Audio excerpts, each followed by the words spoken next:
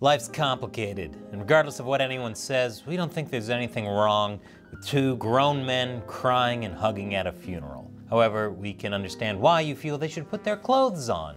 Welcome to Deep Thoughts While Gaming, I'm Chris Chappell. In Generations, the history of America's future, 1584 to 2069, William Strauss and Neil Howe go into detail about their idea that the nature of society is cyclical repeatedly going through four phases the high, the awakening, the unraveling, and the crisis, with each phase having distinct characteristics in relation to how its people think and feel. And if you look at the headlines these days, I'd say we're in the crisis state now. A situation characterized by increased stress and people being prone to sacrificing more personal liberty for security. During this phase of heightened tensions, they theorize that ideas vie for dominance, eventually giving way to the next high, where through a new mutual agreement, or as political philosophers would call it, a new social contract, Society is able to regain stability through new norms. The next high period then being characterized by stronger governing bodies,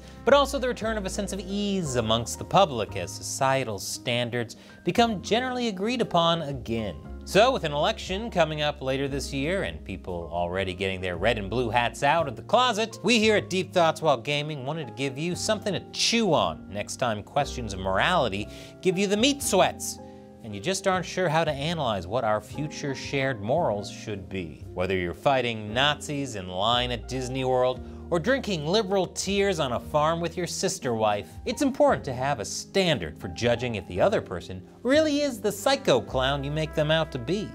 The future could depend on it. And what better game for this than Polish game developers 11-Bit Studios' This War of Mine released in November 2014. In the game, you'll be thrown into a war-torn city as a group of civilians, trying to navigate the challenges of winter, starvation, and military action as you fortify your defenses, collect food, and try to stay alive in the supply management and survival game.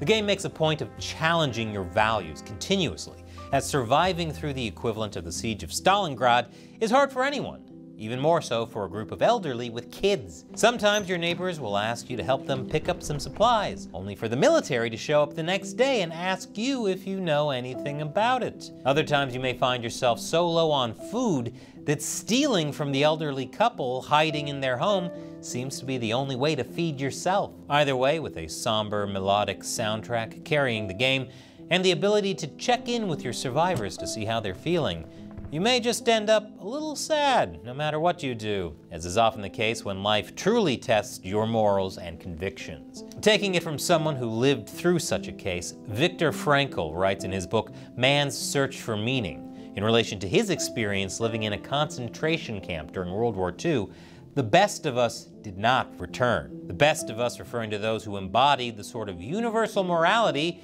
that Immanuel Kant speaks of, the sort of morality that Isidor Straus had as he and his wife gave up their seats on a lifeboat and stepped back onto the Titanic to make room for others, or that Nelson Mandela had during his 27 years in prison fighting apartheid in South Africa, the sort of morality that people want to see alive again today, the sort of morality many of us on our couches in our homes possibly mistakenly believe we have. Hopefully for whoever is listening, We'll never have to know for sure if we're right. After all, you'd probably be a cannibal too if you found yourself among the 29 plane crash survivors stranded in the middle of the Andes Mountain during the true events of the movie Society of the Snow, released at the end of December 2023. And at least on this side of the screen, we wouldn't blame you. Of the original 29 plane crash survivors, only 16 returned home. Although we don't agree with cannibalism here at Deep Thoughts While Gaming, it's hard for us to say their actions are immoral under the circumstances, as is the case in most of the gray zone we call life.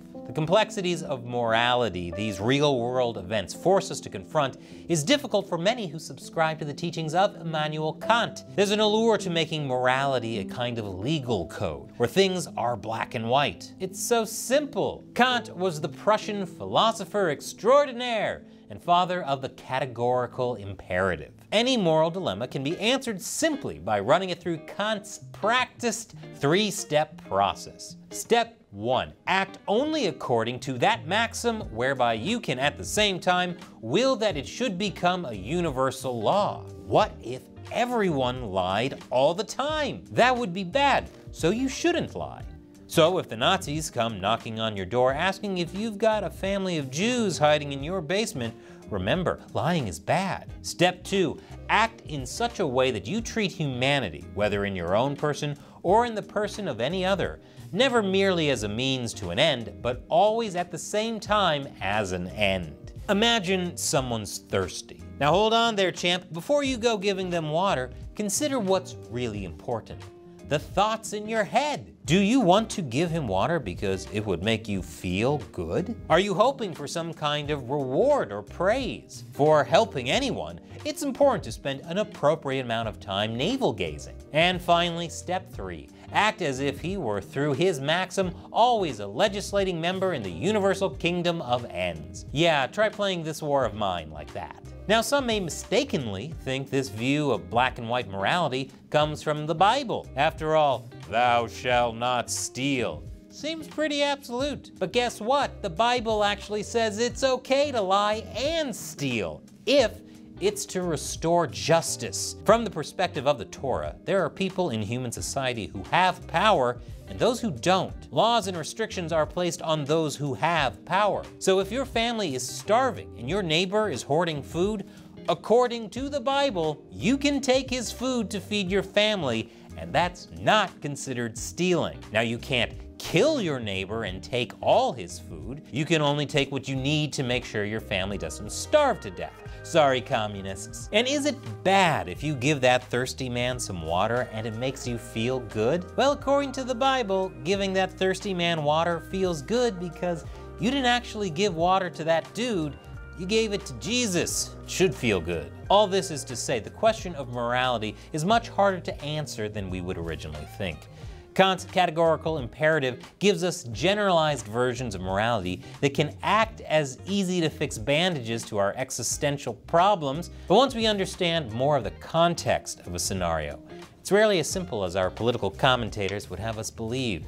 And with Bud Light somehow still in business after the Dylan Mulvaney drama of last year, there may still be some hope that the trans feminists of California and the swamp dwellers of Florida can find common ground around a nice American beer. Thank you for watching Deep Thoughts While Gaming.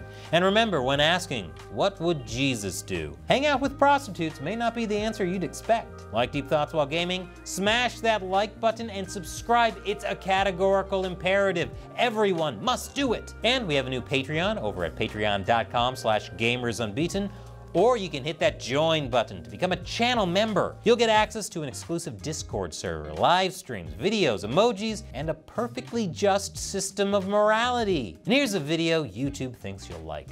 Just relegate your decision making, your likes and dislikes to the algorithm. Humanity may be morally imperfect, but the machine god loves you, despite your fleshy weakness.